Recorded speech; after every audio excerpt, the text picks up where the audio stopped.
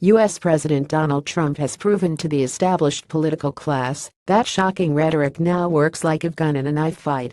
Many in Washington thought Trump's calling Mexicans rapists and commenting on Rosie O'Donnell's fat, ugly face would derail his political momentum. Instead, these comments and many others helped usher him into the White House. But the strategy that has worked well in many of Trump's political skirmishes crosses a line from crude and coldly calculating to flagrantly irresponsible when used against North Korea's Kim Jong-un. It is one thing to chastise demonstrators facing down white supremacists and denigrate women with references to blood. Such derogatory comments horrify Americans outside of Trump's base and establish new lows for U.S. politicians, but they don't carry the possibility of grave consequences for the rest of the world. Trump versus Rocket Man what if North Korea is the problem, not Kim in repeatedly calling Kim Rocket Man and using other language to demean him, Trump has brought his schoolyard bully tactics into a conflict that has global thermonuclear war as one of several possible outcomes if cooler heads don't prevail. On a more immediate level, Trump has undermined a diplomatic effort that accomplished what successive U.S. administrations never managed China's cooperation, which is essential for any effort to subdue Pyongyang without resorting to military action.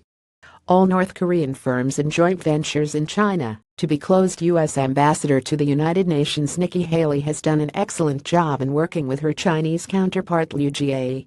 Bargaining with Liu, Haley managed to get two sets of North Korea sanctions unanimously passed in the Security Council.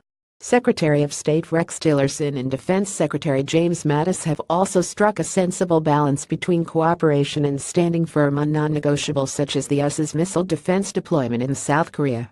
In Beijing this past weekend, Tillerson said the U.S. currently has lines of communication to Pyongyang, which was an encouraging revelation given the heightened tensions around the Korean peninsula.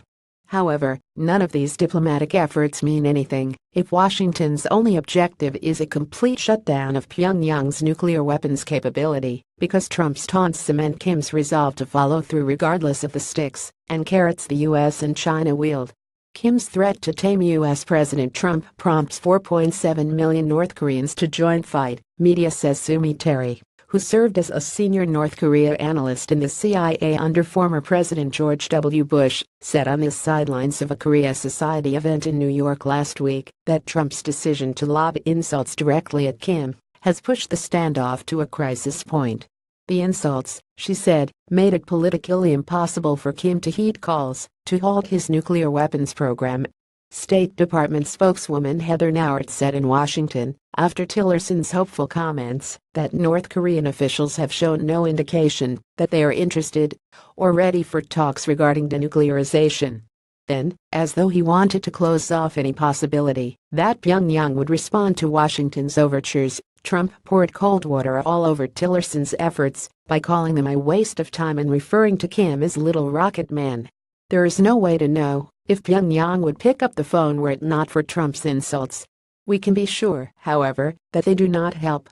We also know that Trump's need to fling insults outweighs any concern he has for the gravity of possible outcomes.